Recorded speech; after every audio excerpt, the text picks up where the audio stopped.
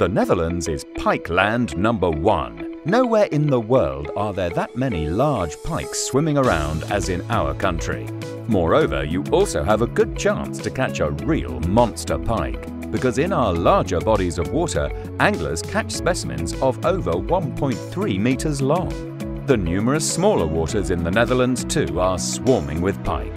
The most well-known spots are our typically Dutch polders a uniquely Dutch landscape crisscrossed with thousands of ditches that cut up pastures and farmlands with the characteristic windmills in the background.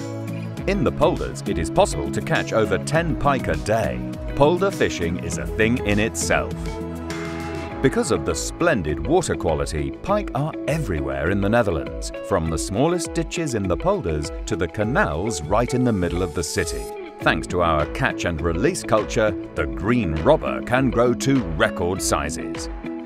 Get your fishing gear and come experience it for yourself.